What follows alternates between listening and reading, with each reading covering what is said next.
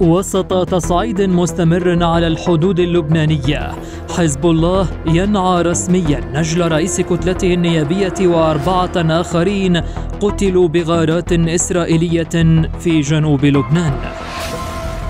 حزب الله أعلن مقتل عباس رعد نجل النائب محمد رعد جراء قصف إسرائيلي أثناء تواجده مع عدد من عناصر الحزب في أحد المنازل في قرية بيت ياحون.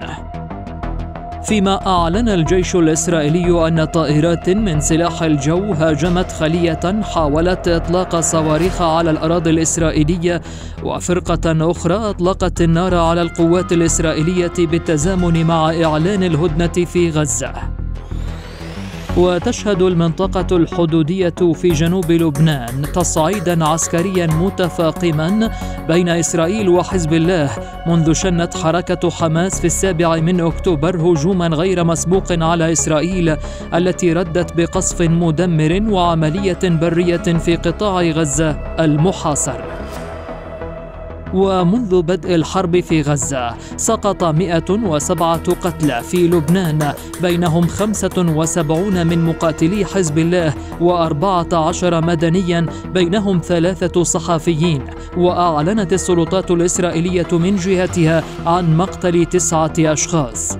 وتكررت خلال الأيام الماضية على ألسنة مسؤولين إسرائيليين تهديدات بتدمير لبنان في حال استمر تصعيد حزب الله.